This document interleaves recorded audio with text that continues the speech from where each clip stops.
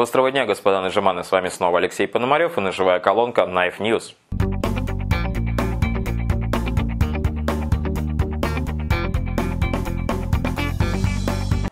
И снова в моих новостях бушкрафт из э, стальки О1.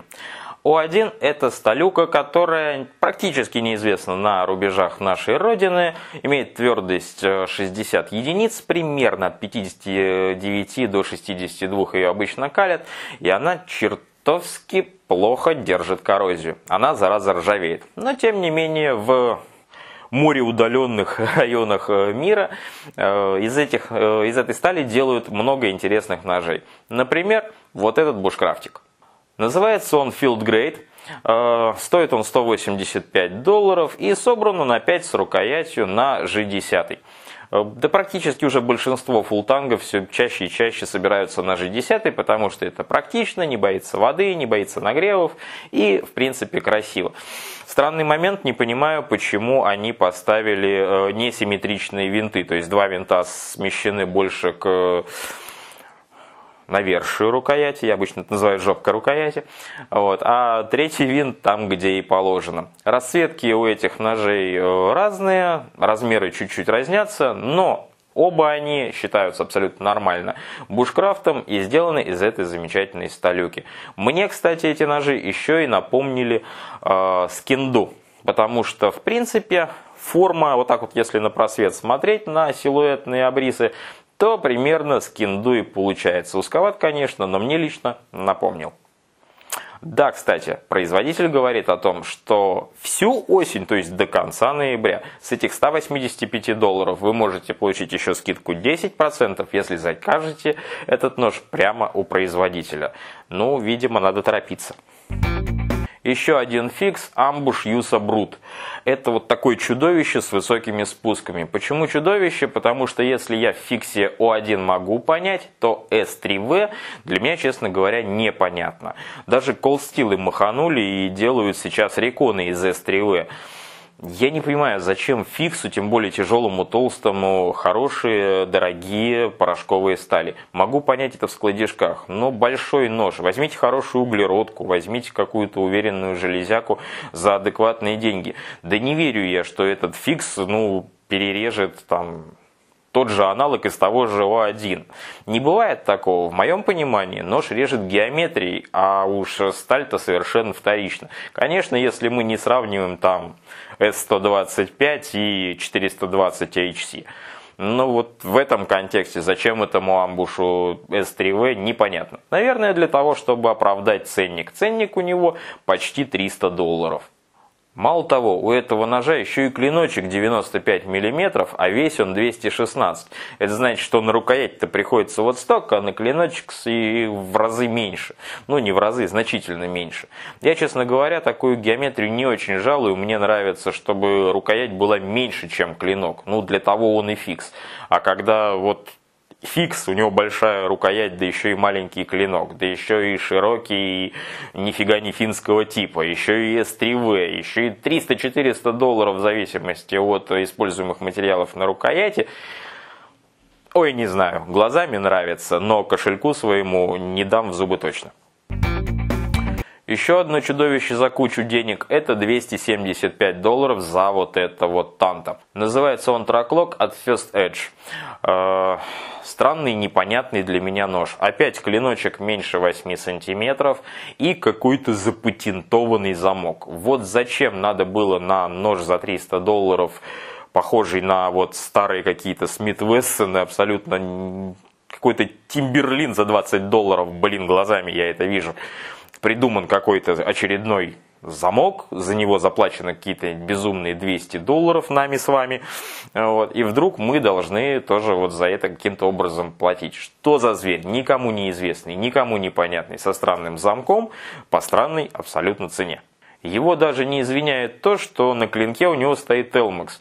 Уж у нас Элмаксы ставят все, кому не лень, и вообще уже скоро будет считаться, что это ценовой диапазон той же самой D2 или даже 95H18. Вот. Вроде Elmax, лайнера у него из 440, так она тоже копеечная. И такая же G10 рукоять, как на любом другом складне. Но 275 долларов. Расскажите мне, э, за что платятся такие деньги в этом ноже, напишите ниже в комментариях. Друг Нажиман, не забывай подписываться на мой канал в Ютубе и искать меня в соцсетях. Например, заглядывай в мой замечательный Инстаграм. Там уже больше 30 тысяч подписчиков. Каждый день кайфовые фотографии. Иногда даже случаются очень выгодные конкурсы.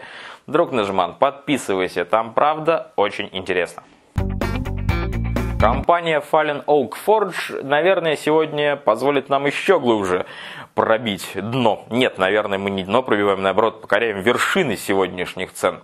Перед вами изделия этой самой компании, которые вот все из себя большие, все из себя красивые, с такими э, странными рукоятями под камень. Такие вот видно, что ребята с фантазией. Так вот, они сделали лопату 805 долларов. Вот такая вот лопата, 7-миллиметровая сталь, G10 огромная фактурированная рукоять. Вот 50 сантиметров такая хреновина с вот таким вот копьевидным, собственно, жалом. 805 долларов за лопату. Называется она Trench Dog. Как переводится, даже смотреть не стал. А, но реально ценник просто выносит. Вот меня вывернуло наизнанку 805 долларов. Обычная саперка в таком вот модном дизайне. И ладно бы, как предыдущие, они пытались э, поставить какую-то хитрую столюку. Я бы сказал, ну ладно, вот здесь вот там кранидура такая дура. А оказывается, это 1075 обычная углеродка.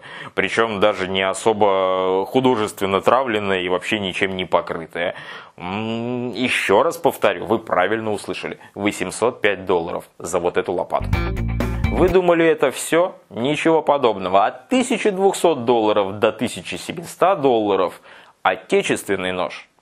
Это нож в серии «Складень». Называется он «Трабант» и сделал его товарищ Кукин. Земной поклон, золотые руки. Никогда слова плохого не говорил и, видимо, никогда не скажу. За что здесь такой ценник, видимо, мастеру виднее. То, что мастер высшего уровня и понимает, что делает, я буду говорить всегда.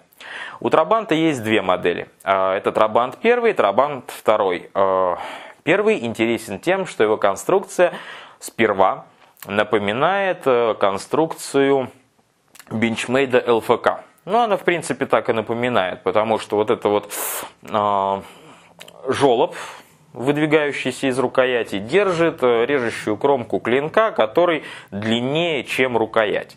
Но у бинча он просто прятался в рукоять в разложенном состоянии. А здесь же, когда мы раскладываем нож, то вот этот жолоб, титановый, насколько я понимаю, закладывается на шарнире вовнутрь и является замком одновременно для фиксации этого ножа. Так как мы нож держим в руке, он никуда не разбалтывается, никогда в жизни не соскочит. Это вам ни лайнер, ни аксис, ни фрейм. Никуда он деться не может, потому что это титановая хреновина, которая подпирает пятку клинка. Скорее всего, куча мастеров сопрут эту идею и запустят себе в производство. Вот точно уж эта идея э, долго единичной не останется. А второй нож Трабант малый, имеет э, похожие материалы, похожий вид, но этого уже коромысла нет. И там вот, если вы видите видео, э, как мне кажется, некое подобие аксис-лока, только с коромыслом на спине, чтобы мы эти вот бонки не видели по сторонам. Со спины сдвинули и сложили нож. Раскладывается он обычным ногтевым зацепом, как БАК 110. В зависимости от материалов, ножи эти стоят от 1200 до 1700 долларов. И еще один предмет, э, цены немалый. Слава богу, не знаю сколько стоит, наверное пару долларов, но на момент создания этой новости все проданы. Это вот эта бусина. Мало того, что это бусина на темляка в виде абсолютно дурного черепка, не выдающегося никакой художественностью, это бусина гнездо под торкс. А, всегда задавался вопросом, на кой хрен это надо, но всегда носил с собой что-либо, во что можно поставить торксик и где-то покрутить. Теперь так делают и бусины. Вместо круглого отверстия в бусине шестигранное отверстие, и ее можно использовать как вот головку для этого самого торкс-ключика. я так подозреваю, должен быть карман с этими торксами, нож с такой бусиной. И в случае странного сбора экстренного какого-либо трансформера нужно отстричь себе темляк, снять эту бусину, одеть торксик и где-то что-то покрутить. С одной стороны, хрень несусветная, с другой стороны, казалось бы, были у всех бусины с круглыми отверстиями. Тут чувак озадачился и сделал шестигранное отверстие, в которое влезает Philips Torx. Как идея, кайфово, как инструмент, стопудовая дрянь. С вами снова был Алексей Пономарев, рассказывал всякие интересные ножевые пономаревости. Смотрите меня два раза в неделю во всех мониторах страны. А этот выпуск со мной записывал нож Cold Steel из недорогих. Тот самый ProLight с клинком Clip Point. Э, нож из немецкой сталюки, который они заявляют 4116 Герман Круп. И вот таким вот замечательным бэклоком, который задалбывает всех, кто пытается его закрыть вот таким вот образом. В очередной раз, уже, наверное, в 50-й рассказываю, что закрывается он все-таки за дальнее коромысло. Вот там вот нажимаем и вот так вот складываем. Нож требует привычки, но тем не менее стоит адекватных денег из очень хороших материалов и чертовски интересно сидит в руке. Имеет кучу хватов, удобно упереться в спинку и строгать, рубить, резать.